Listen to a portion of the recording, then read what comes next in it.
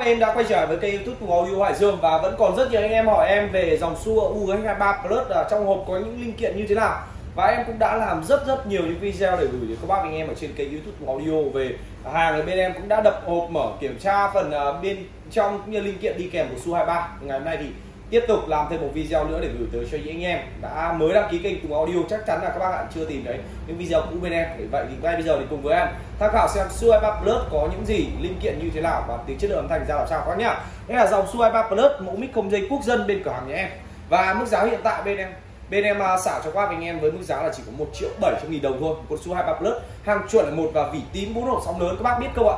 Cái dòng này ấy, mà vào Tết thì không có hàng để mua đâu kể cả các bác em có tiền đi chăng nữa bởi sao dòng ờ, dòng này ở dịp Tết anh em chơi rất là nhiều thịnh hành và ờ, bây giờ nó bắt đầu chuyển sang tầm tháng 9 rồi. Sắp đến là dòng chuẩn bị là tháng 9 rồi. Là những anh em đã bắt đầu dục dịch chúng ta đi uh, mua thiết bị âm thanh đặc biệt là những mẫu mic như thế này. Và giá hiện tại đang quá ngon cho anh em khách hàng. 1 triệu 700 nghìn đồng. Một con Su 2 bạc lớn bản chuẩn. Để các anh em nhanh tay các bạn nhá. Ok và bây giờ em sẽ cùng các bác anh em xem linh kiện của Suai bạc lớp sẽ có những gì khi các bác anh em nhận hàng tại cửa hàng Tùng Audio là đây toàn bộ nội thất bên trong toàn bộ linh kiện đi kèm của số 23 thì các bác được nhìn thấy ngay. Hàng mới tinh chế độ bảo hành lên tới 15 và các bác nhìn thấy đầu tiên thì các bác nhìn thấy phần à, tay mic này. Đây em mở luôn cho các bác xem.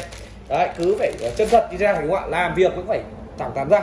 À, thứ nhất là phần tay mic Su 23 Plus sẽ có tay mic phiên bản màu xanh dương màu rất đậm nhá. Và hơn nữa thì anh em cầm lên chúng ta sẽ thấy độ nặng và tay mic Su 23 thì luôn luôn là to rồi. Anh em tầm nắm thoải mái đầm tay các bạn có hai phần tay mic cho các bạn nghe đấy anh em hỏi là tay mic thì uh, xua thì sẽ có mấy tay mic? Thì em cứ nhắc cho anh em. Bộ mic không dây thường thường sẽ hai phần tay mic cho các bác. Chỉ có mic dây thì họ mới sử dụng là một mic thôi. Anh em nhớ cho em. Tiếp theo đó là gì ạ? Dây rắc cắm nguồn dây 6 ly hai giá chống lăn cho các bác anh em sử dụng với phần tay mic. Và có thêm bốn quả pin đi kèm để anh em uh, sử dụng khi test hàng nhá. Đấy. Và ngoài ra thì có cho anh em đó là gì ạ? Bốn dâu anten ở phía mặt sau để các bác và em bắt sóng dòng này thì uh, anh em biết sao ạ? Gia đình nhưng mà sử dụng đến bốn dâu. Uh, để có thể là ví dụ như các bác uh, mang ra phòng trà chúng ta làm này bởi vì bắt xa với dòng Su 23 Plus thì cũng cực kỳ tốt. Em thấy là bắt sóng tầm 4 50 mét thoải mái và ổn định. Vậy nên là dòng mic Su 23 Plus này vừa có thể làm gia đình tốt vừa có thể làm phòng trà nho nhỏ anh em sử dụng uh, kinh doanh bình thường đúng không ạ? Su 23 Plus thì có giọng uh, tính chất âm như thế nào? Lát nữa cùng các bác để em test. Còn bây giờ cho các bác xem về cái phần bộ đồ thu. Cái phần bộ đồ thu mới là cái điểm đẹp nhất của Su 23 đây các bác nhìn với phiên bản màu ghi. Đấy. và phần tề phần phím volume các bác nhé khi chúng ta cắm điện lên nó sẽ có thiết kế đèn led và tất cả các phím chức năng đây đều có thiết kế đèn led và màu sắc nó nhiều màu đa dạng màu và đẹp. À, đặc biệt là Su 23 em thấy là có hình thức đẹp nhất trong tất cả dòng mic của Su nếu như xét về cái phần bộ đồ thu và mặt hình thức thì Su 23 có một cái tông bản màu rất đẹp. Ngay bây giờ em sẽ cùng các bác anh em cắm điện và trải nghiệm từ chất lượng âm thanh của Su 23 Plus nhé các bác anh em đây là hình thức của mẫu sản phẩm Su 23 Plus. Khi các bác anh em cắm điện và trải nghiệm ở đây thì, uh, mỗi sản phẩm này anh em có thể ghép đối được trực tiếp vào với vang này. Đó, ghép đối với âm ly ghép đối với đẩy liền vang hoặc thậm chí anh em giáp vào loa kéo đều được cả. Dòng mic quốc dân này thì uh, tiếng chất lượng âm thanh ở những video trước bên em cũng đã uh, báo cho anh em rồi. Tiếng thanh dễ hát dòng này tiếng khỏe và giọng sóng rất là xa ổn định nữa và chế độ thu phát mic tốt và không hiện tượng rú rít khi chúng ta sử dụng. Su 23 Plus thực sự là một trong những mẫu mic mà em thấy là gia đình quá hợp lý. Và tiếng chất lượng âm thanh như thế nào? Ngay bây giờ em sẽ cùng các bác mình mà trải nghiệm một chút tiếng chất lượng âm thanh của Suai Bạc Plus nhá. Ở đây em sẽ sử dụng luôn phần tay mic à, có đế màu xanh để cho bác mình nghe.